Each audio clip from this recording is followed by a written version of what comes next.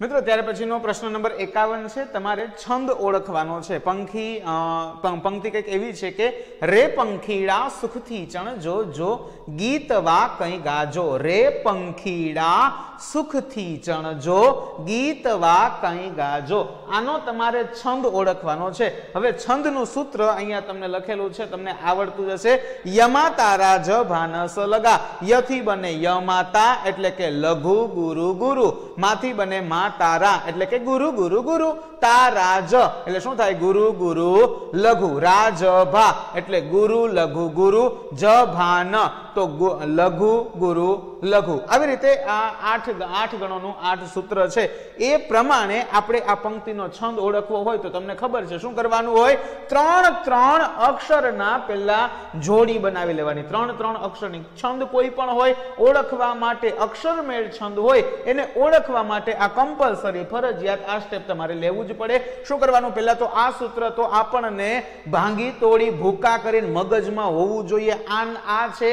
એ આપણું પહેલું પગથિયું છે. આપણી શ્રી છંદની ગીતા હોય ને તો આ આઠ ગણ છે. આના વગર ક્યારેય આપણે છંદ શીખી ન શકીએ. એટલા માટે આ આપણે યાદ જ હોય. પછી આપણે જોવાની પંક્તિ જોવાની. પંક્તિમાં ત્રણ ત્રણ અક્ષરોના તમારે જોડી બનાવવાની છે. ત્રણ ત્રણ અક્ષરોની જેમ કે રે પંખી, એનું તમારે લઘુ ગુરુ કરવાનું.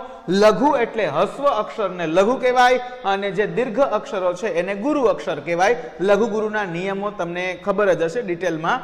તો રે પંખી, તો રે છે એમાં એ સ્વર એ સ્વર છે. એટલા માટે ગુરુ બનશે ગુરુ ગુરુ ગુરુ. ત્રણેય અક્ષરો ગુરુ છે. તો એવી રીતે આમાં ગોતવાનું કે ત્રણેય અક્ષરો કેમાં ગુરુ આવે? તો આપણને ખબર પડી જાય કે મ છે મા તારા ગુરુ ગુરુ ગુરુ. તો પહેલો પહેલો અક્ષર કયો મળે આપણને? મ મળ્યો. પછી અહીંયા લખેલા છે ડા સુખ ડા સુખ એટલે શું થાય? ગુરુ લઘુ લઘુ. ગુરુ લઘુ લઘુ કેમાં આવે છે? અહીંયા તમે જુઓ તો ભગણમાં જુઓ. ગુરુ લઘુ લઘુ. તો અહીંયા બનશે ભગણ. પછી એવી જ રીતે ફરીવાર એનો થી ચણ થી છે એ દીર્ઘ છે તો ગુરુ બનશે ચણ. બંને રસ્વ છે એટલે લઘુ લઘુ બનશે. એટલે ગુરુ લઘુ લઘુ. તો પાછો ભ ગણ બન્યો પછી જો ગીત. એટલે કે જો છે એ ગુરુ અક્ષર છે, દીર્ઘ અક્ષર છે.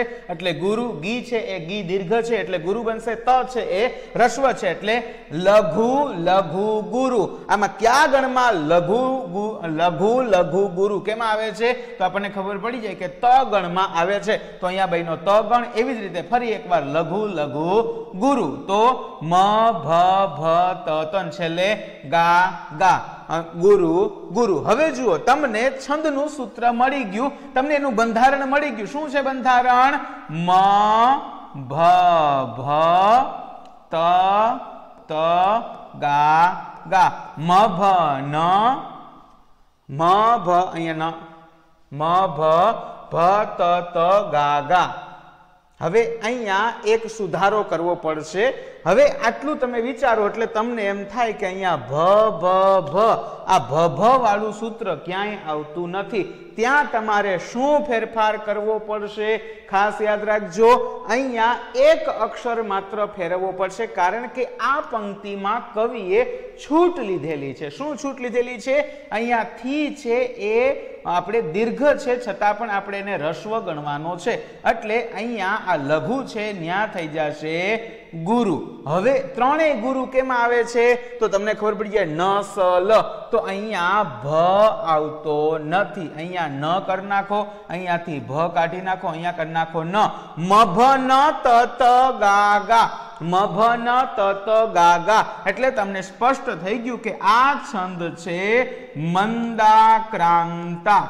કયો છંદ છે આ? મંદાક્રાંતા છંદનું બંધારણ છે. મભન તત ત ચો તો બહેની એવી પંક્તિ, રે પંખીડા, સુખથી ચણજો ગીતવા કઈ ગાજો મ ભ ન ત ત ગા ગા કયો છંદ બહેનો મંદાક્રાંતા છંદ બને છે. પણ આવી રીતે યાદ રાખવાનું બેટા, ગમે ત્યારે ઘણી વાર કવિઓ છે એ છૂટ લેતા હોય છે. એટલે જ્યારે કવિ છૂટ લે, ત્યારે એ એકાદી વાર, એક પંક્તિમાં એક વાર કવિ છૂટ લઈ શકે. તો તમારે જો કોઈ એક જગ્યાએ ફેરવવાથી આખો છંદ બની જતો હોય, તો તમે લઘુનું ગુરુ પણ કરી શકો છો અને ગુરુનું લઘુ, એટલે કે રસ્વ હોય, એવા અક્ષરને દીર્ઘમાં લઈ શકાય છે અને દીર્ઘને રસ્વમાં લઈ શકાય છે. પણ એકાદી ભૂલ હોઈ શકે છે, એનાથી વધારે જાજી ભૂલ આપણે, આપણી મન પડે એમ આખી પંક્તિ ફેરવી શકતા નથી. જેમ કે અહીંયા થી છે, એ દીર્ઘ છે, પણ આપણે એને સમજવાનો છે લઘુ. કારણ કે કવિએ ત્યાં શું લીધેલી છે? છૂટ લીધેલી છે. તો એવી રીતે આ એક એકાવનમો જે એકાવનમાં પ્રશ્નમાં તમને જે પંક્તિ પૂછવામાં આવી છે, એનો છંદ થશે મંદાક્રાંતા છંદ.